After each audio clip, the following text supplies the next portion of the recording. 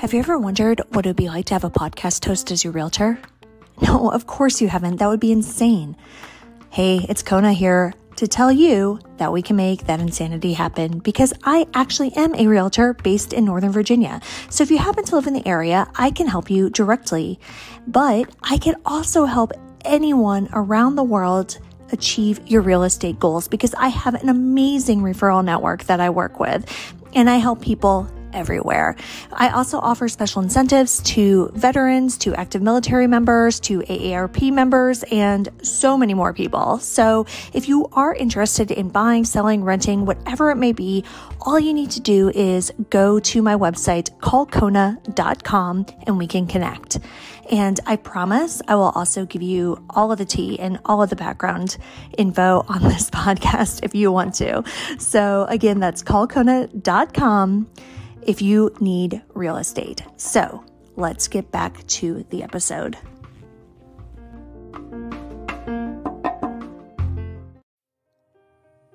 A man has a disagreement with a significant other.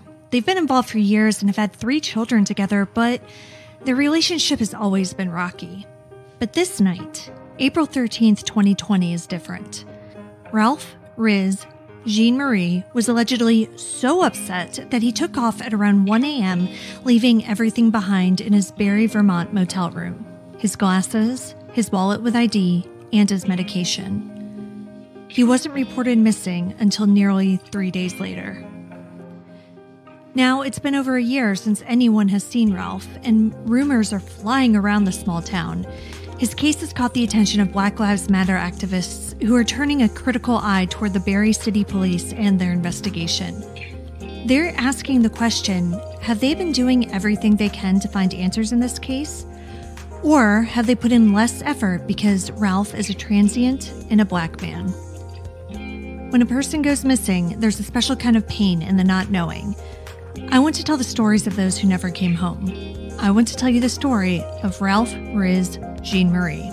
I'm Kona Gallagher. And I'm Ethan Flick. And this is And Then They Were Gone.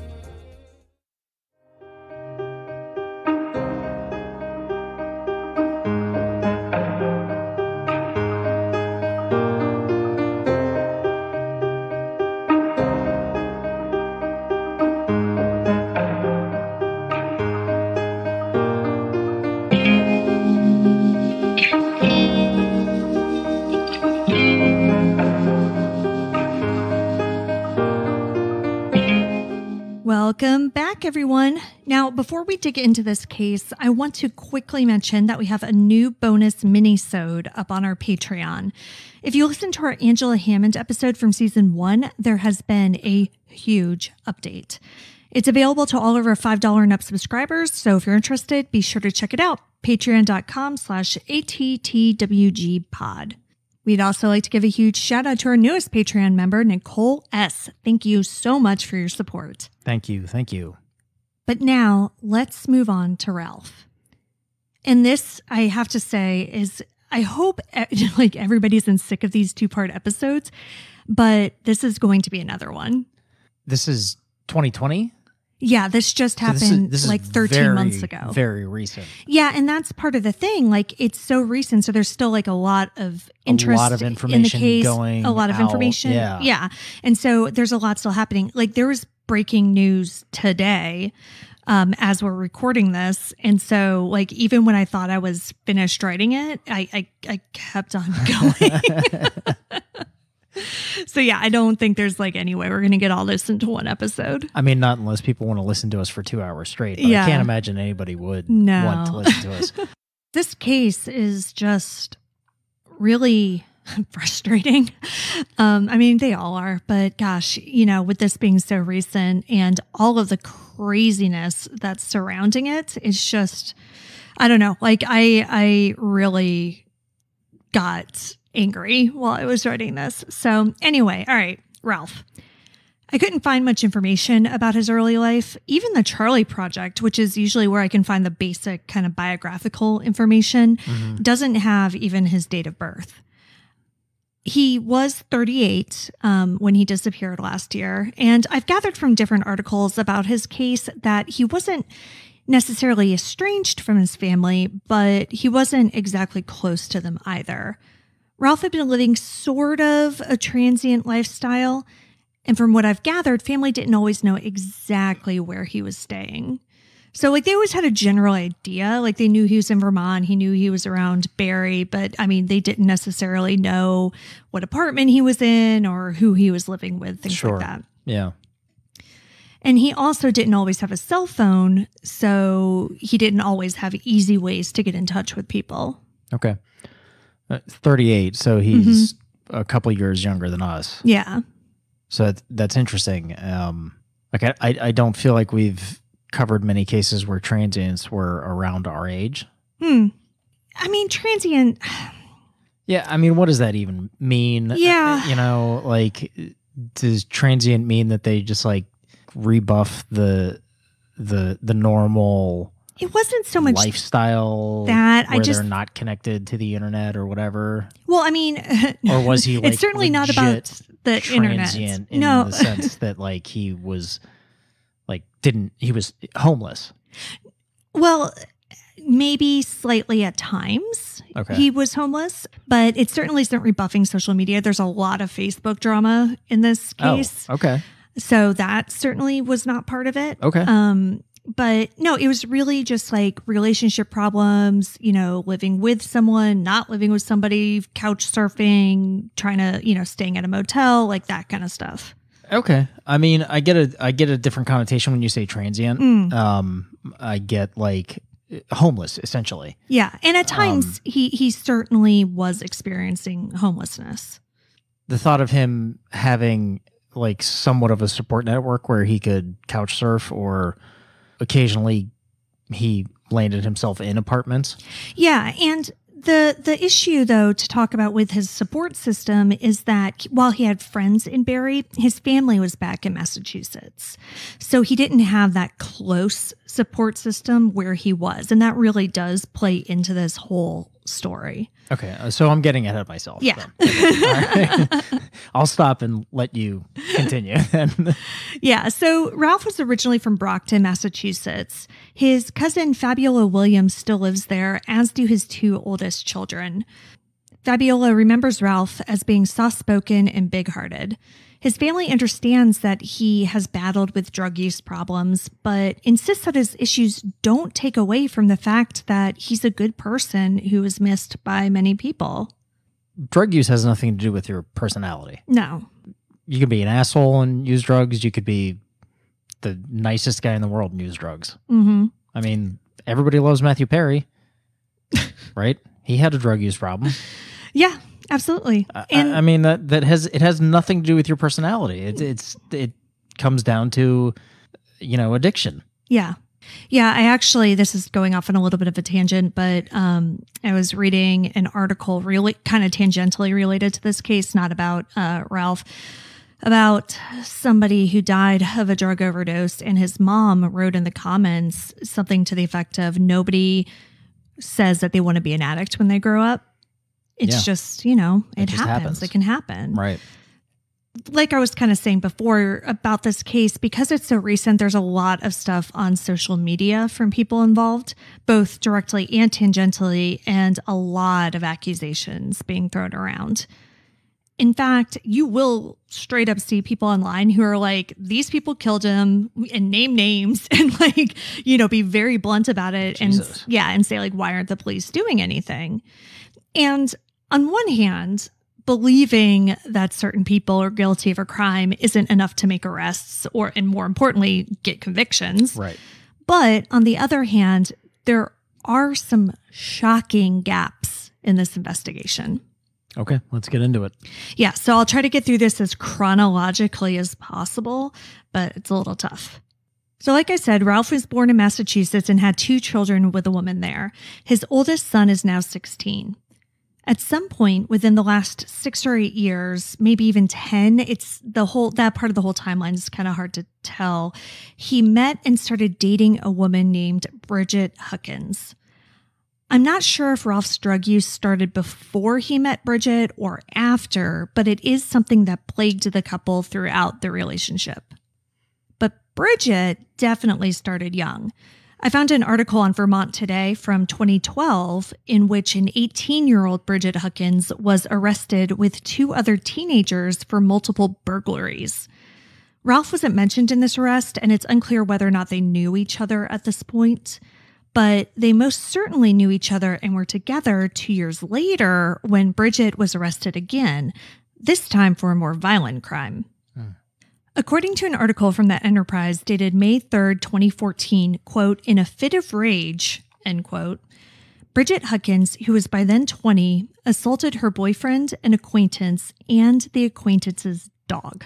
Was Ralph the boyfriend?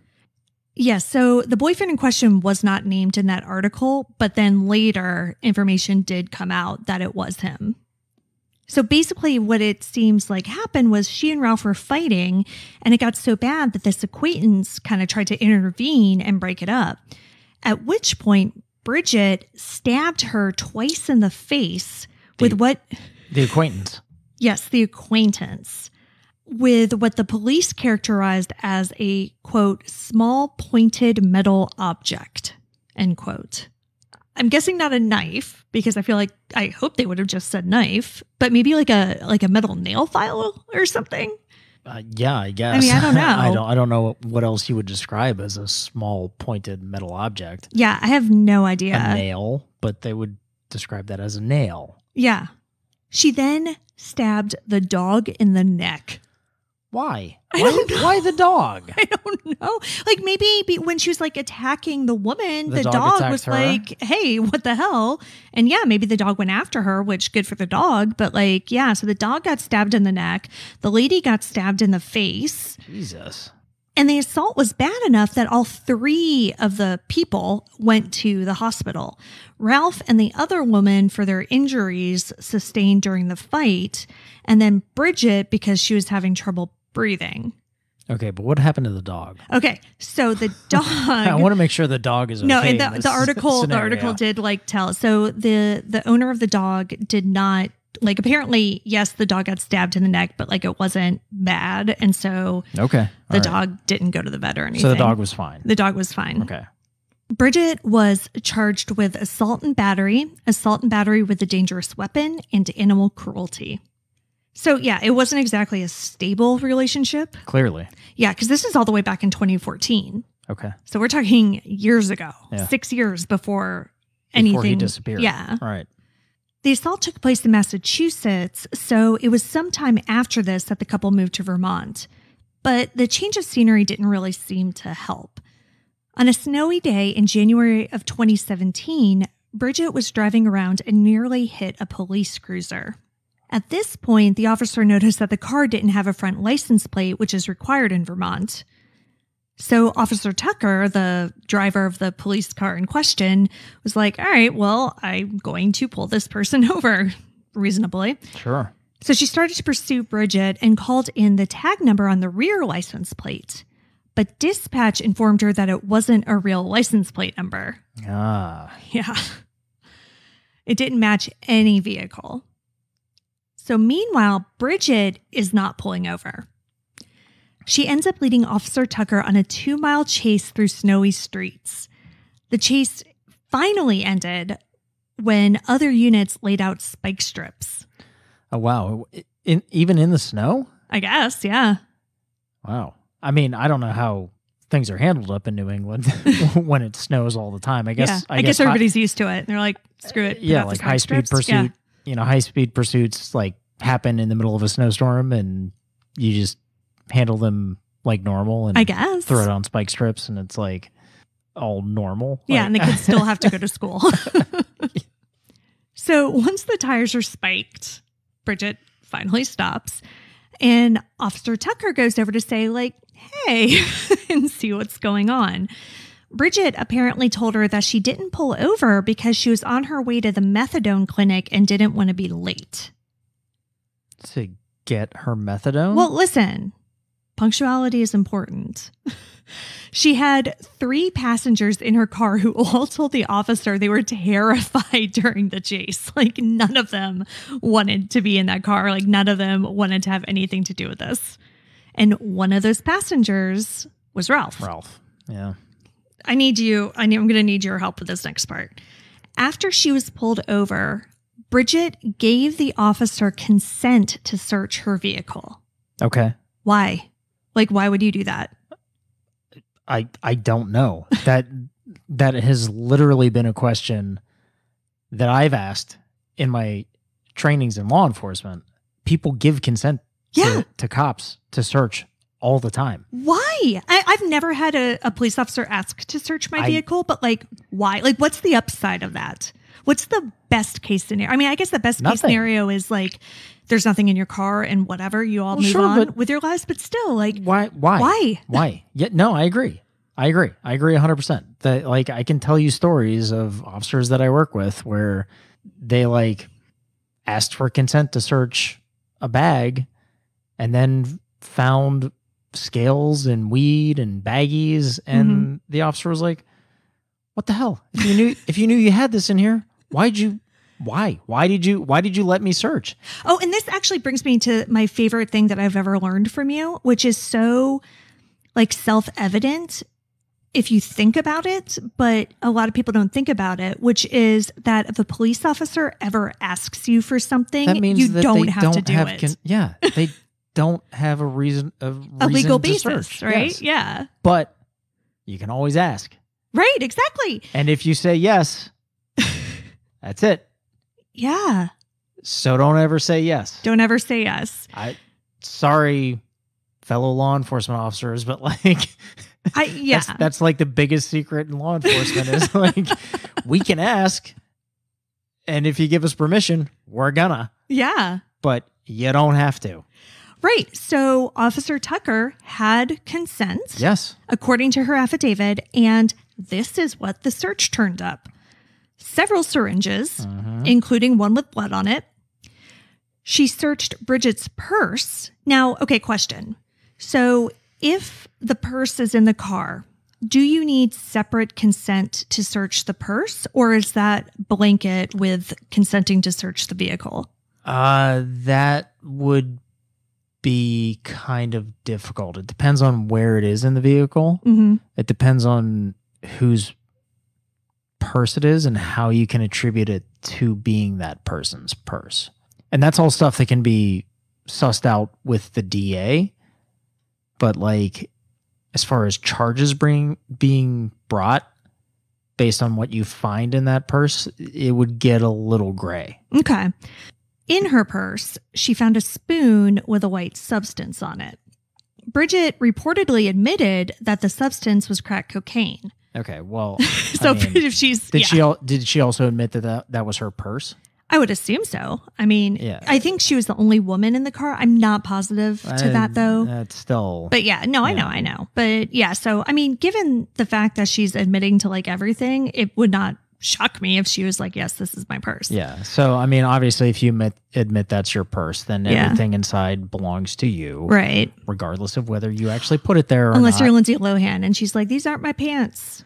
Do you remember that when the cops found cocaine in her pant pocket? so funny story. My father literally had this the exact same thing happen to him. He had cocaine in his pants. No, David Flick. other way around. How scandalous. So he was a parole officer, and uh, he searched a parolee and found some drug in a pocket, and that Mhm. was literally the excuse that the parolee used. He was like, "Oh, those aren't my pants." He's like, "Okay, well, like." This was also back in like the very early 80s. So Yeah. it comes down to constructive possession. Mhm. If it's on your person, it's yours. Same thing with bags or whatever. If Mhm. they are your bag, then whatever is in your bag is yours. So that's Right. the same concept. So if she admitted that that was her purse, then everything in that, regardless of whether she actually put anything in that purse or not, uh, is hers Mm-hmm. Because it's constructive possession. Yeah. Well, it didn't work for Lindsay Lohan either. Well, yeah, it shouldn't. So the officer then searched the trunk and found another spoon with a yellowish substance on it. Mm. And- Heroin? No, Bridget said that that substance was Ritalin. Oh, interesting. Yeah. She also reportedly told the officer that one of the reasons she didn't pull over was because she thought she had a warrant out for her in Massachusetts from that 2014 assault. Okay, so the the justification behind any of this is I'm just going to continue to run away from the cops. Like that that never works. Well, especially because it was snowy, and the officers, like, yeah, she kept on sliding into Yeah, like the was- other lane. she was also probably only going like 30 miles an hour. right. Yeah, I don't think this was a high So, speed like- chase. Because I feel like it was also in a residential area too. Yeah, so like what was her end game? I have no idea. I don't, I mean, listen, I don't know what her end game was with that. I don't know what her end game was with just admitting to all of this stuff and letting the cops search. Like, Yeah. Yeah, the whole end game part of this is completely baffling to me. Also, again, with the search, if a police officer asks you to search the car, you absolutely say no.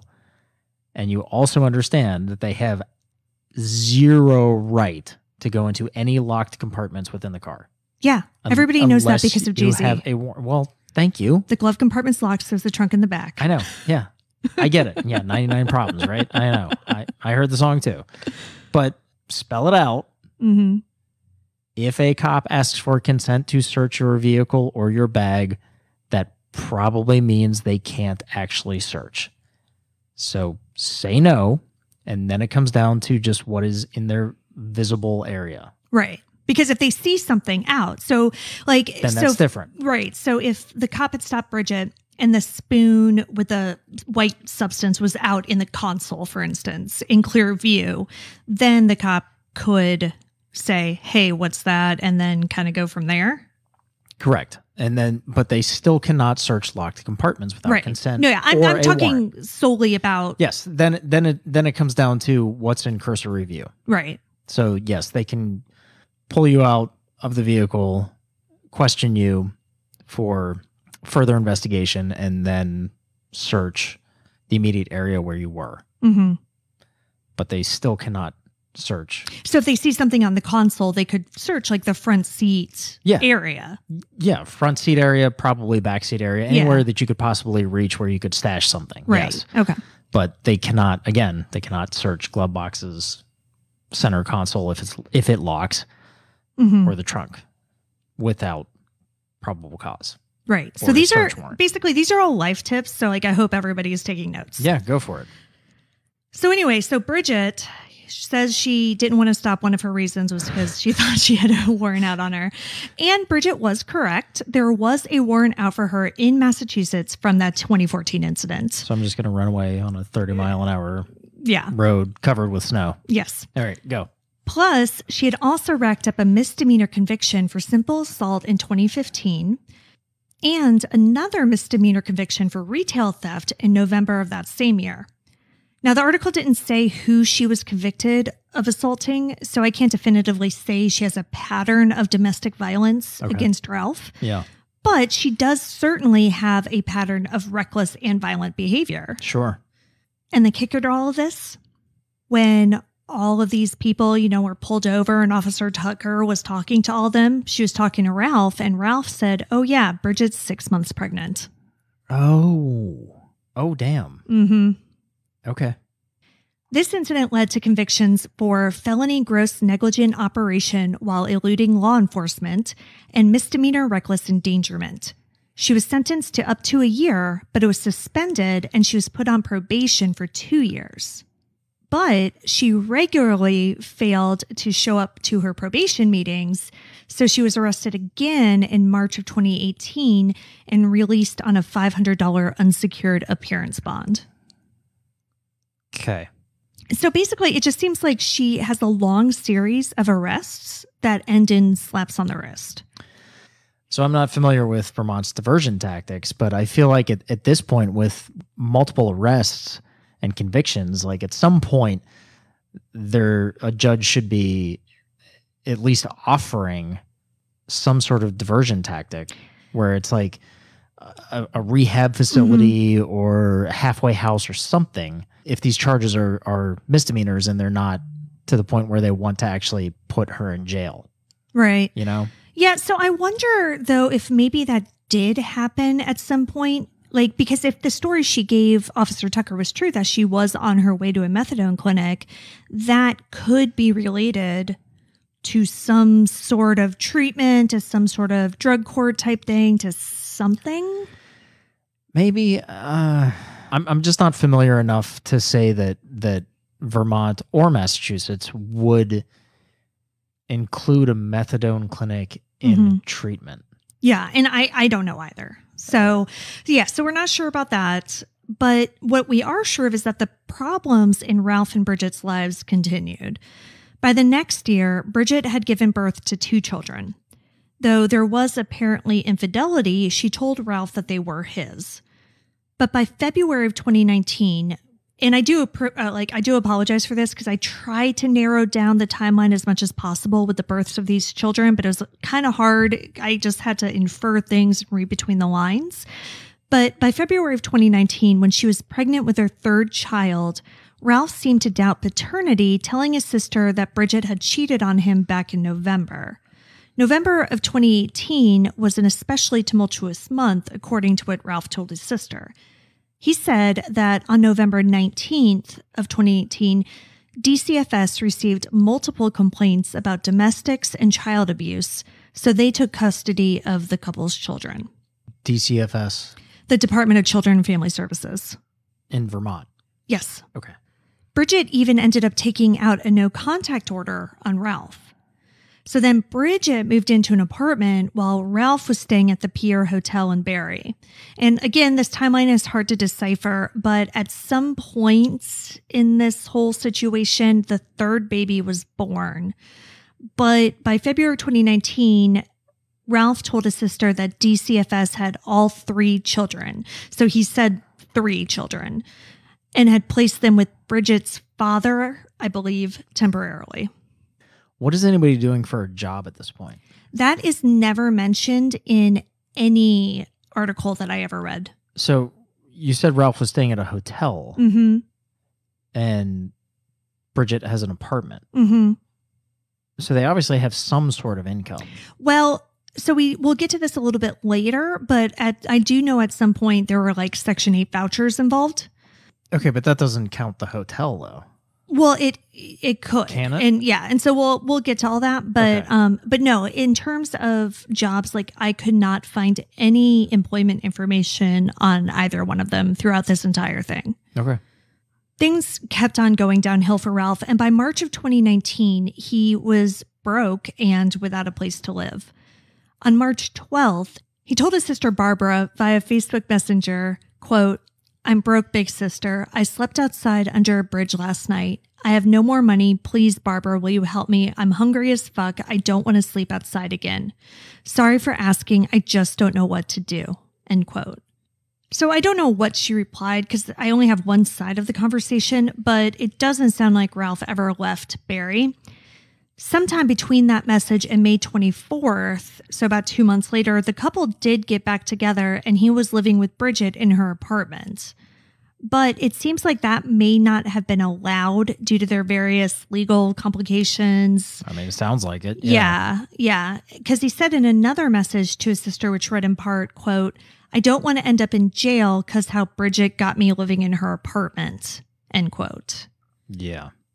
Then he said that quote, I don't think she loved me anymore. I'm just here, I feel, as the personal ATM.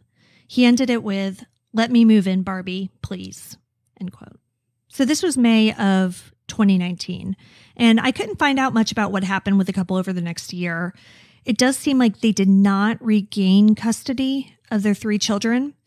It also seems that their cohabitation in that apartment did end at some point because by April of 2020, Ralph was staying at the Hollow Inn in Barre. And now this answers your previous question. This hotel not only had standard rooms that you could rent by the night or presumably the week, but it also took state vouchers for people experiencing homelessness. Oh, okay. So there are more long term residents as well, which is basically the same setup as the Cecil Hotel had in the Elisa Lam case. Remember that documentary? Yes. Yeah, yeah, yeah. Yeah, where it was like half like tourists and then half uh, people with Permanent- vouchers. Yeah, not not so permanent residents. But Yeah, long term yeah. residents. Mhm. Yeah, yeah. Uh, interesting. Yeah, Okay. so it's the same type of setup as Okay. that. So I don't know if the Pierre Hotel was that same kind of deal where he was staying before or if he was just renting that room as normal. Sure. Yeah. I don't know. Yeah. Now, this next part is unconfirmed as it seems to be based on the town's rumor mill, but on the night of April 13th, and, and the part that's unconfirmed are the people in the room because I couldn't find any official confirmation of all of these people other than Bridget. On the night of April 13th, 2020, Ralph was apparently in a motel room with Bridget and a man named Chris Elmer, who is a local drug dealer, and another man named Chris Dunn, who is a maintenance man at the motel. The story that eventually made its way to police was that sometime around 1 a.m., Ralph and Bridget got into an argument and Ralph stormed off. Now, at the time, he was wearing gray pajama pants, a gray Carhartt jacket, and tennis shoes and a hat. He left behind his medications, wallet, ID, and glasses. What medications did he leave behind? Is that listed anywhere? Yeah. So the actually interestingly, the only place I ever found it mentioned was the Charley Project, and um, he had sickle cell anemia and was on medication for that. We've talked about medications before Mhm. being uh, an issue, but more so in this case, sickle cell anemia, that type of medication is not something that's like you go to a doctor or you call a doctor and you're like, hey, I lost my prescription. Can you just like refill this? Mhm. That involves testing, that involves blood work. That's like, that's like a bigger deal. Then, like the the heart, uh, they're the blood pressure the medication blood pressure medication, right? that Yeah. we've had in other cases. yeah, exactly. And also, Also- sickle cell anemia, like if you don't take your medication, you die. Yeah, and I I don't know like what severity he had. That's or true. I, yeah, That's I don't know You- about any of that. What I do know is that so he left his glasses behind, and apparently without his glasses, he was legally blind. Okay, so this does not sound like somebody that was like departing to start a new life somewhere. No, no, no. Like this was definitely like he stormed out last minute. mm-hmm. Also sounds very comfortable. I would I would like to wear pajama pants and a And like a Carhartt yeah, sweatshirt. Carhartt jacket. Yeah, it I sounds mean, great. Like, yeah, that sounds that Well, sounds but- really comfortable. But honestly, so that is part of why, like on its face, you can see why this maybe isn't insanely suspicious, right? Because it was April. He was dressed properly for the weather Sure, and yeah. comfortably, like Yeah. you said, right? And he was walking away to cool off after an argument. Like that's a fairly normal thing to do. Yeah, and we have a history uh, of of him getting involved with arguments, but not being the aggressor. Right. either. Right. There- there's a history of him not being arrested on on DVs, mm-hmm. but being a subject of domestic violence. Yeah, and the only thing, the closest that I found was that no contact order that she put out. Right. But I, in everything that I read, could never find anything about him getting arrested. right. And not to say that it's outside of the realm of No, yeah. possibilities uh, of that escalating to that point. Oh, for sure. but there's no history of that. So he's he's walking away to cool off, Yeah, like you said. right. And like, and again, even though he was apparently legally blind without his glasses, I can still see him leaving those behind if he's angry enough. Sure. You know, so if we're solely looking at the facts of this disappearance, I can 100% believe that he did leave on his own accord, right? Yeah. Except for the fact that he didn't return. Okay. And so, okay, maybe he didn't want to go back. Maybe he didn't want to see Bridget again, even if all of his stuff was in that room. But he didn't reach out to anyone else either. What time of day did he leave? 1 a.m.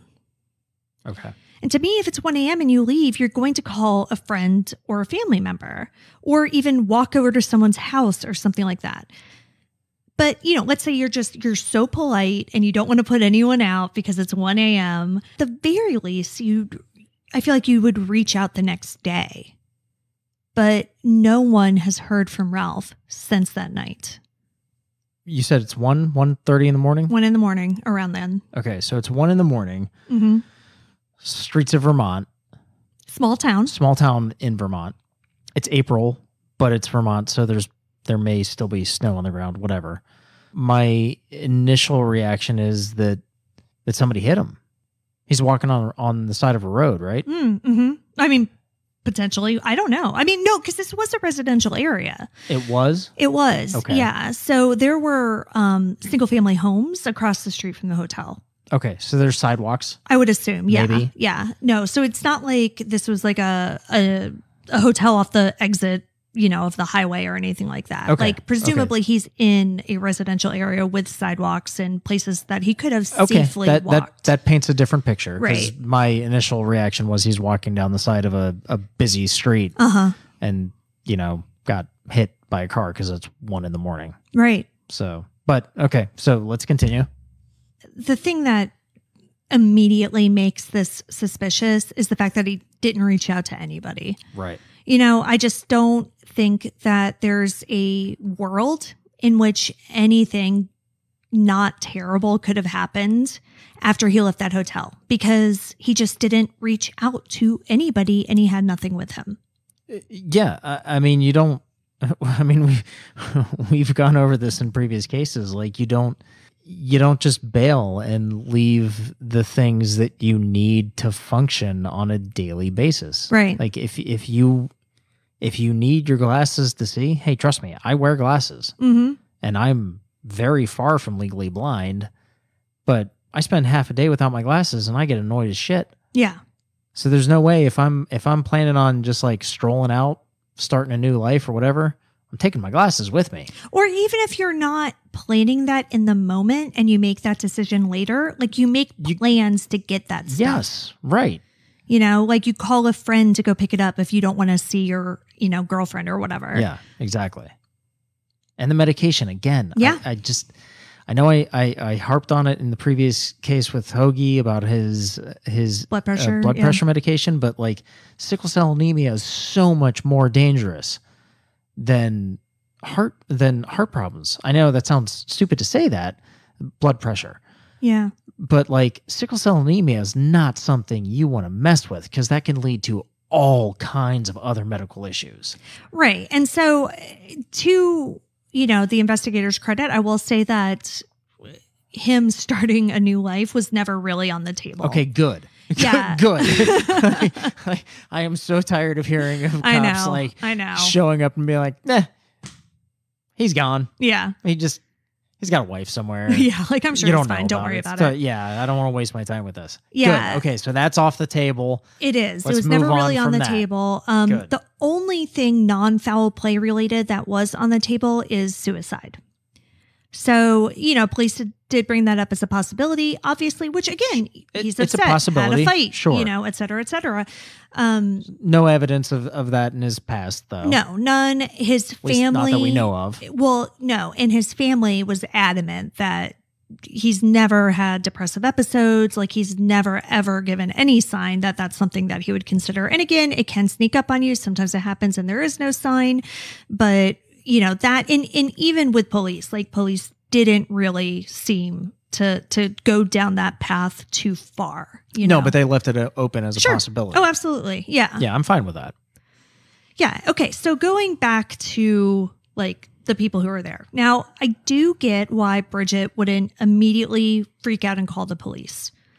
So there, you know, her and Ralph's relationship had been tumultuous, and it would be pretty reasonable to think that he wanted some space.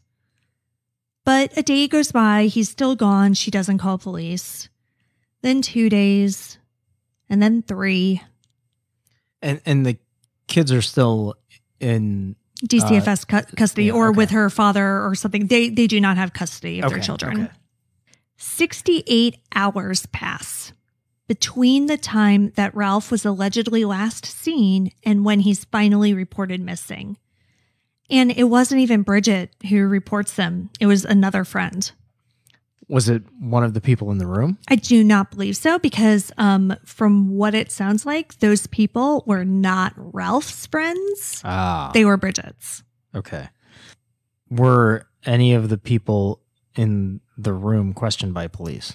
Yes. So police did say that they did question the people who were in the room that night. Okay. Now, what I do not know and why I kind of gave that that disclaimer at the beginning was that the the names of the people other than Bridget I have not seen confirmed anywhere Okay. by police. Sure, but to be fair, it is a it is still a relatively this is 2020. Oh yeah. Like it's a relatively new investigation. Mhm. So th- any information that that they have, they're going to keep close to the vest Right, at right, this right. point because they don't know what they're investigating. Yes, it's a missing person, but you know, w- assuming the worst, it's a homicide, hmm so they have to keep potential suspects close.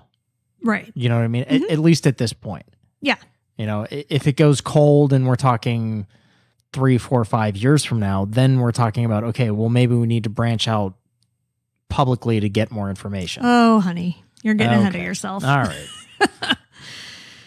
All right. So they, of course, interviewed Bridget. I mean, first and foremost, right? like Absolutely, she's obviously yes. got to be the first person on their list. I mean, there's a history there. Yeah. And she was, you know, with him and it's his significant other. And so that's when she tells them that whole 1 a.m. leaving after a fight story. Okay. But police aren't necessarily buying it. According to the website VT Digger, the items that Ralph left behind made police suspect foul play pretty early on. Sure. Yeah.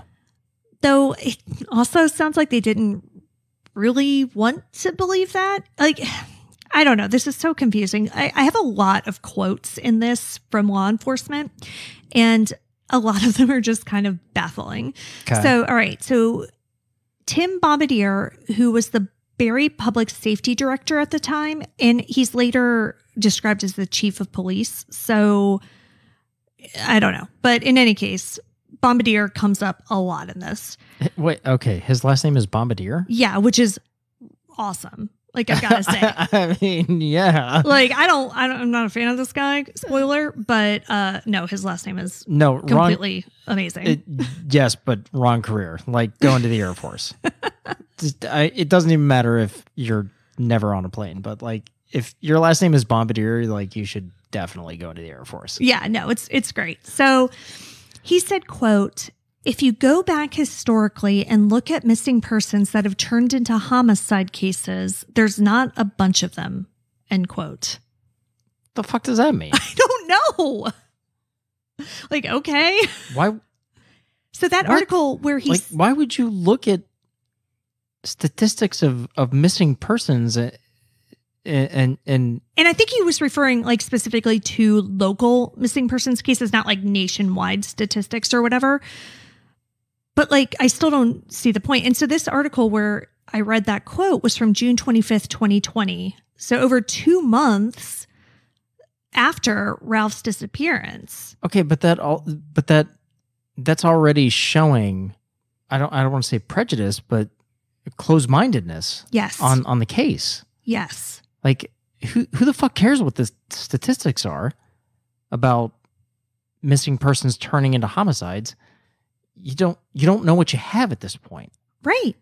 Because they didn't have anything at Right. that point, and it's two months gone already. So you investigate it as an investigation and whether it becomes a missing persons case or a homicide investigation, you don't know at that point.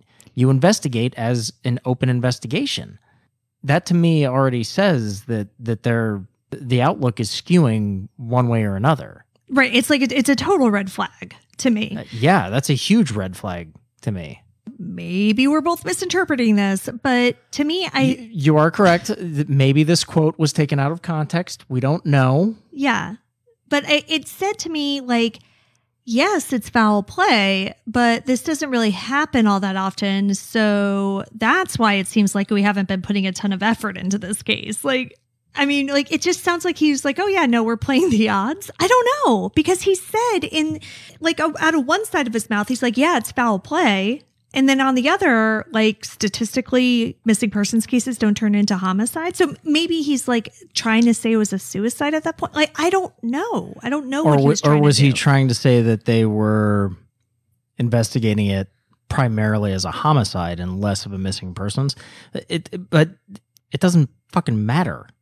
Like at the, at this point in the investigation, whether he's missing or dead, it doesn't matter how you're investigating it.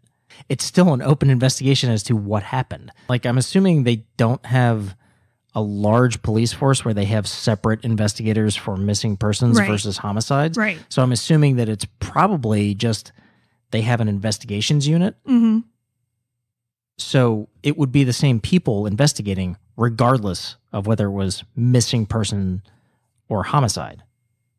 Yeah, I don't know. and Like, and this is all presumptuous, sure, but more often than not, unless you're in a major city, even the major crimes unit in major cities, the the only separation in, in investigations is narcotics versus homicide. So then you're talking about all the other like investigations, quote unquote, and more often than not, those tend to lean towards the homicide detectives, but they won't pick it up as a homicide. Does that make sense? Like, yeah, I nar- think so. narcotics is totally different. Right, That's a totally different animal. Yeah, so if they think that something bad has happened, it's going to be the homicide detectives who who are investigating it, whether or not they actually think it's a homicide. So they're trying to figure Right. out whether it is a homicide. Right. So if basically, it's missing a person or a homicide, what the fuck difference does it make? Why would you quote that? Why would you say that? listen, It's I'm- the same investigators searching for the same outcome. yeah, finding mm. the guy, Yes. Where is he? Where is Ralph? Right? Whether he's alive or dead, the investigation is leading to the same outcome. Where is he? Right? Yeah. Right. And so at this point is when we start to hear rumblings of like, hey, it doesn't really seem like police are taking this super seriously.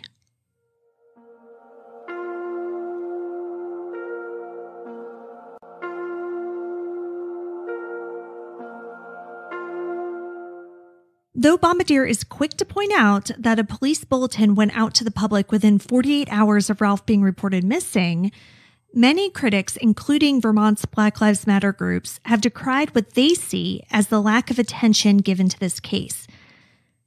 They think that not only did the Barre police not devote the resources needed to solve this, but that the media has also been apathetic. Hmm. And there are strong arguments for both. The first news article about Ralph's disappearance didn't show up until June 17th, 2020. He he went missing in April. So we're talking, yeah, 2 months. And that was the article that I was referencing was in June. And most of the articles that I was able to find from around that time just gave the basic facts of the case. Like a man had a fight with a significant other, walked away at 1 a.m. He was wearing X, Y, and Z. Hasn't been seen. There's no in depth reporting to any of it. This happens all the time across the country when, you know, victims who aren't media friendly go missing, we they just don't get the media coverage. They don't get the police resources. This happens and then they kind of the cases fade away. Hmm. And that very well could have happened with this. Except Ralph disappeared just about a month before George Floyd's murder and the subsequent protests across the country. Ah. It really seems like this was a rallying point for the Black community in the overwhelmingly white Vermont, yeah. right? You could just categorize that as New England in general. well, sure. exactly, right? So a Black man was missing and probably murdered. Probably. And authorities didn't seem to care. And so people started demanding justice and they got loud. Uh, yeah. And so I really do think that the time and the place of Ralph's disappearance is probably the only reason why I've heard of this case, probably the only reason why I'm able to bring you this story today, mm-hmm. because it just would have faded away like so many others. But this story really did start to gain steam. And just last month, around the one year anniversary of Ralph's disappearance, a new documentary about Ralph was announced. Filmmakers Tiana Langevin and Anthony Marquez are working on a four part documentary called Silent City. Langevin told WCAX, quote, the further we can get this story to reach, the more eyes and ears we can get on it. I don't know the man. I know the man as a statistic, but I don't know him as a human. So, through this documentary, we want to show him as a human and not just another statistic.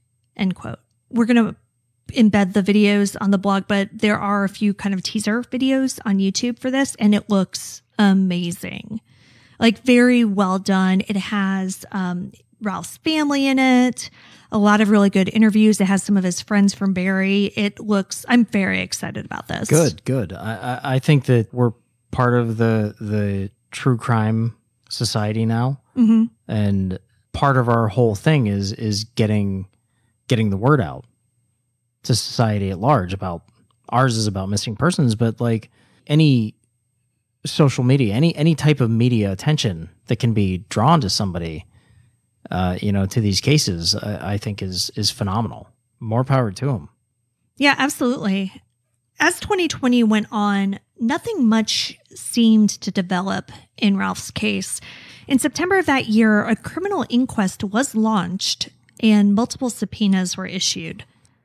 The month before, police did state publicly that they believed foul play was involved and that they thought there were people who knew more than what they were saying, but then that was kind of it.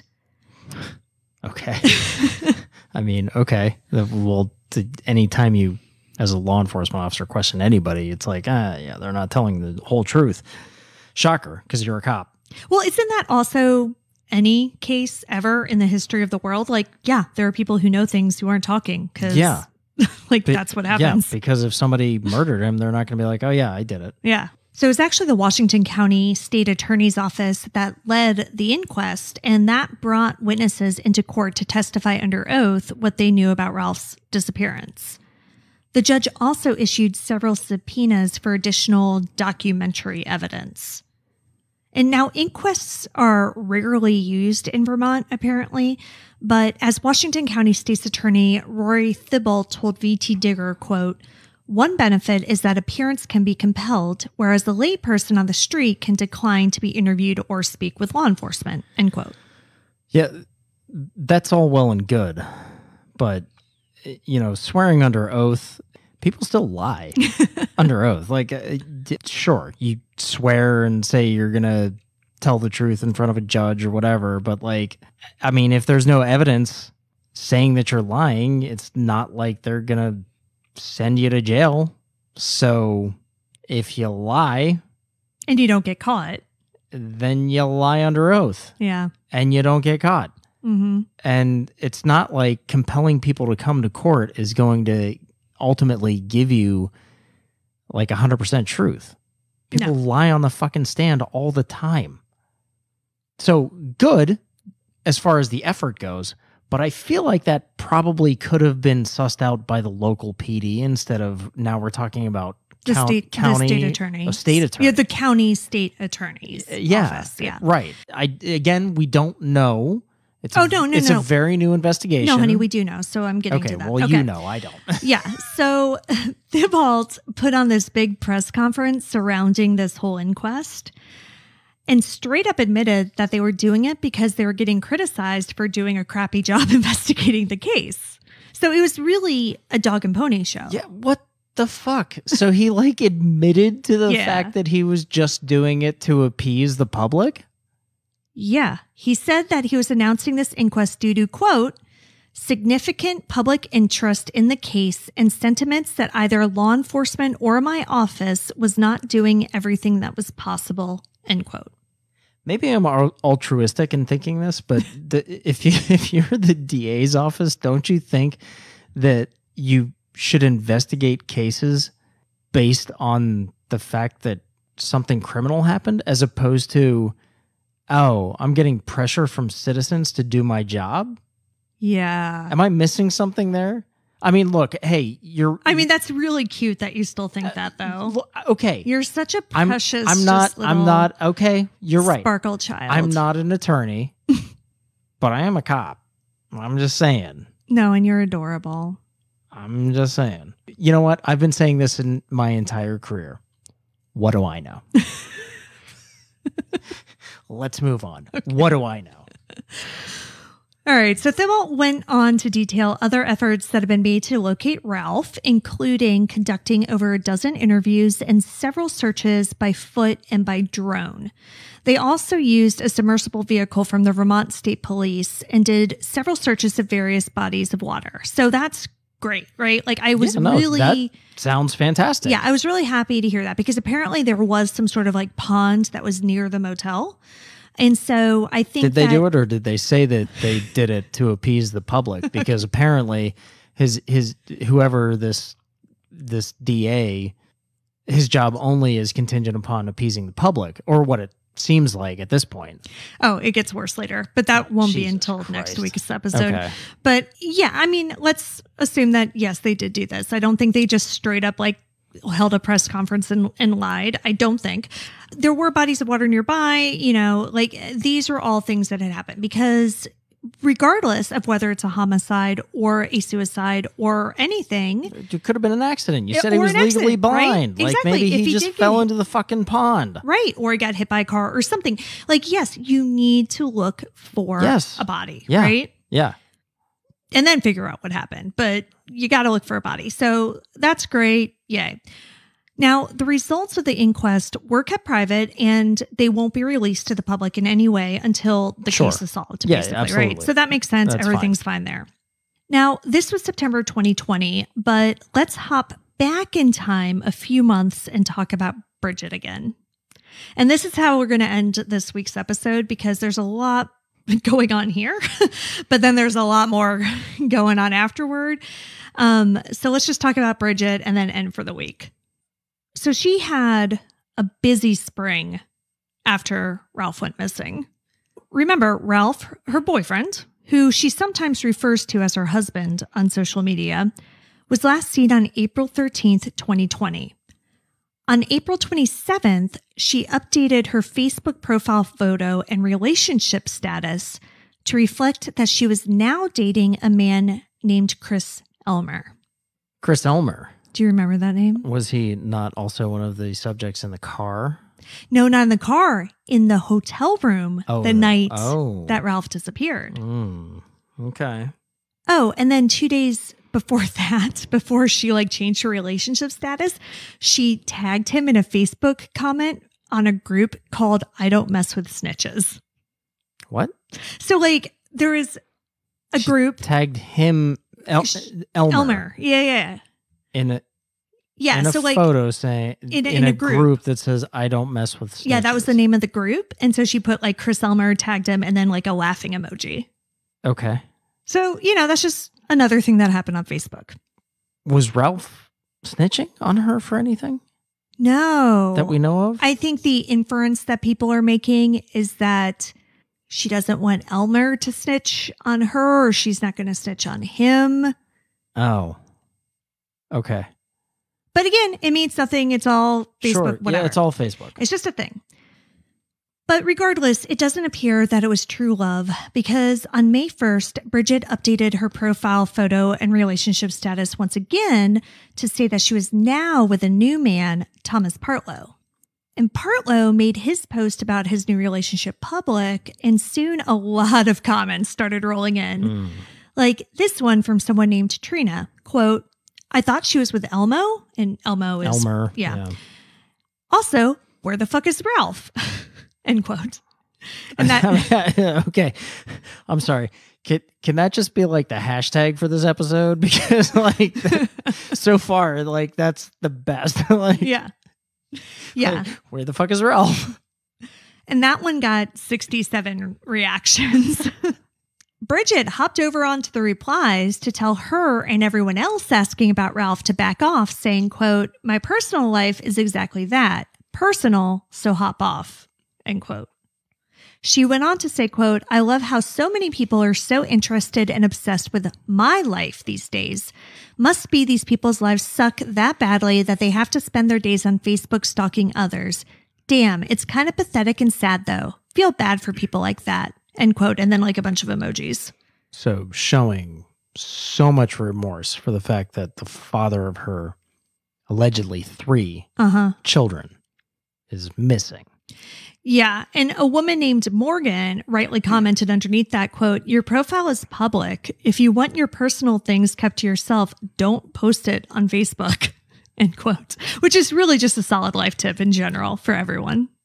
Yeah, I mean, you know, I would delete all of my social media accounts if it weren't for legitimately this podcast. Well, and our kids and our family. You know, we You- like to sit. I know, but you do enough updating with my family. Like my Facebook page could be completely gone and everything would be hunky dory. Like I don't care about social media at all. No, I, I am, I am aware. so over it, you know, on so many levels. So like the fact that this person is just like, damn, everybody's concerned about my life.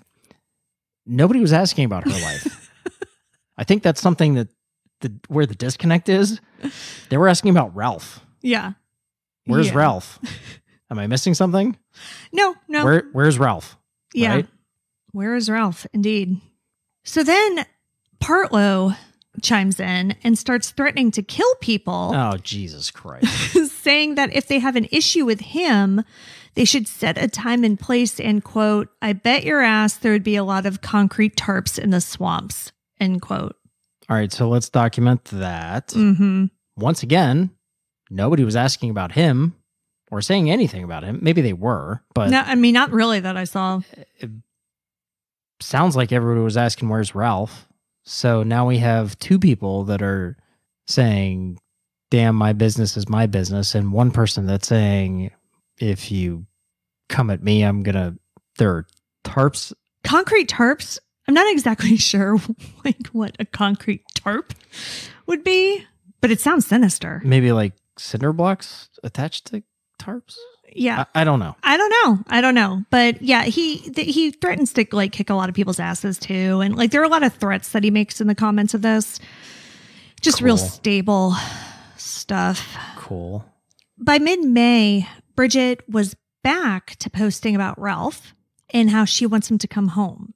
And I think that, so. It was like maybe everybody's Yeah. comments started to get Oh, to her. So, so maybe she's realizing that on social media she's not the most yeah, like maybe it doesn't look person. great. Yeah. Okay.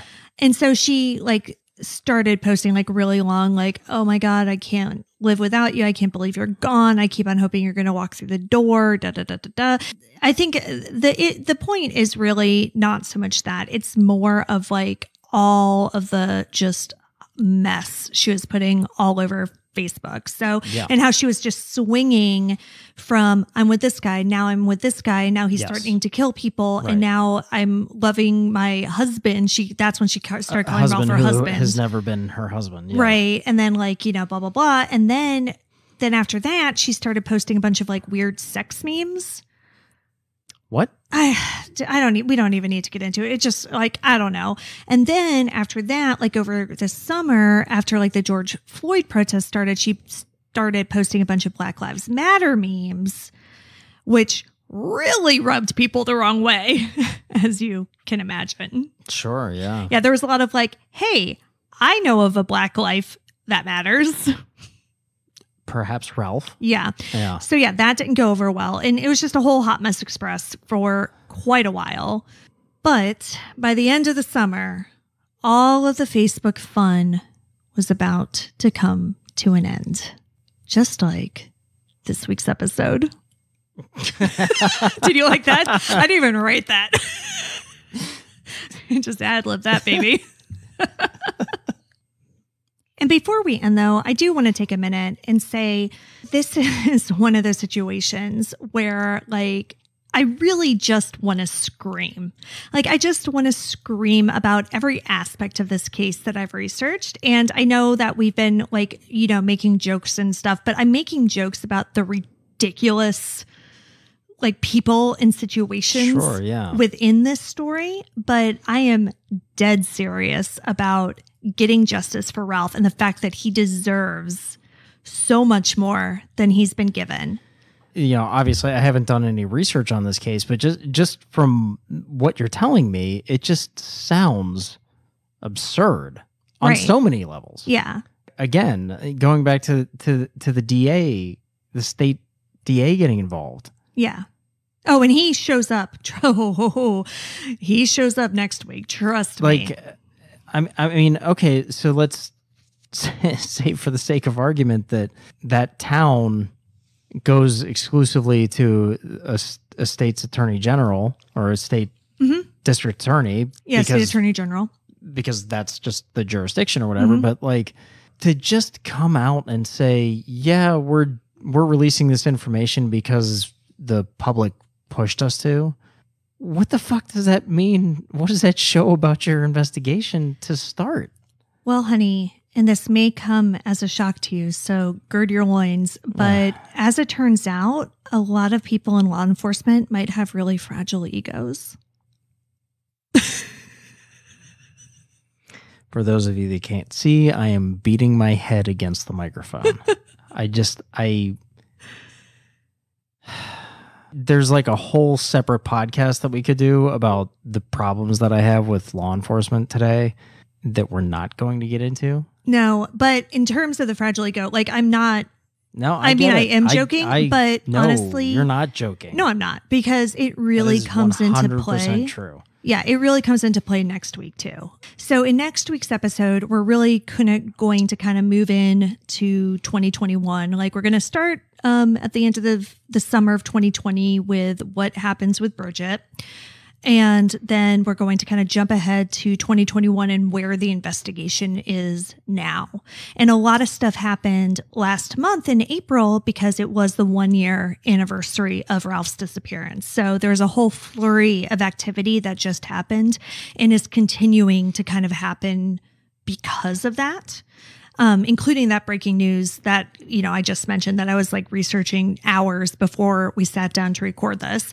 So there's a lot going on, and that's really where we're going to go next week. And if you thought that the county state's attorney was a little butthurt about the public's response in September of 2020, you should hear him in April of 2021. I have never understood why politics are involved in law enforcement. And again, that's a whole separate podcast, but the politics should not be involved in law enforcement. And they are across Yeah. the board, 100%. percent mm-hmm. Doesn't doesn't matter whether you're appointed, doesn't matter whether you're an elected sheriff. Politics are involved in every aspect and it is completely absurd. Because you as a law enforcement officer should be there to protect the public.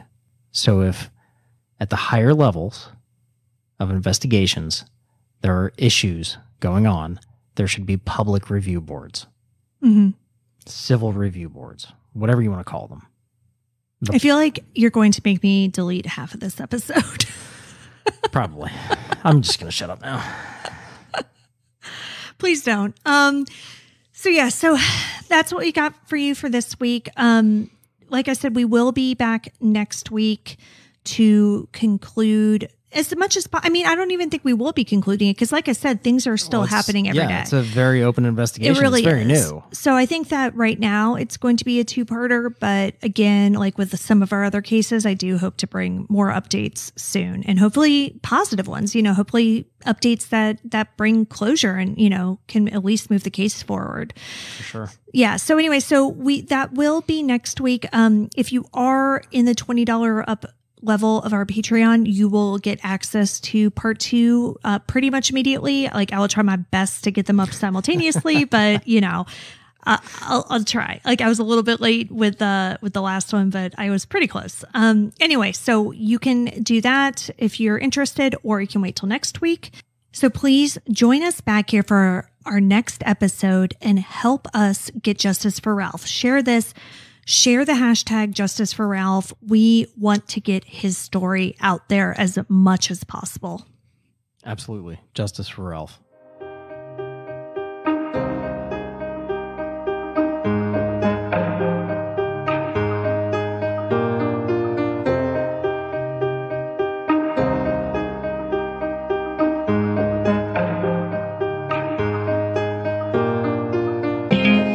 If you have any information about what happened to Ralph Jean Marie, please contact the Barre Police Department at 802 476 6613. You can also submit a tip anonymously to the Vermont State Police by texting keyword VTIPS to 274 637. That spells out crimes. You can see all of the sources for this episode along with photos and videos at our website and then they were gone.com. And be sure to follow us on social, and then they were gone pod on Facebook and at ATTWG pod on Instagram and Twitter. If you like what we're doing, please subscribe and consider leaving a five star review on Apple Podcasts. It will help new listeners find us, and the more people that listen, the more chances we have of bringing someone home. And we'll see you here next week for part two of Ralph Jean Marie. See you next week. And Then They Were Gone is hosted by Kona Gallagher and Ethan Flick. All research, writing, and editing is done by Kona Gallagher. Theme music is The Stork by Ketsa. Additional music is provided by Kai Engel. And Then They Were Gone is a Little Monster production. Hey, you can do it!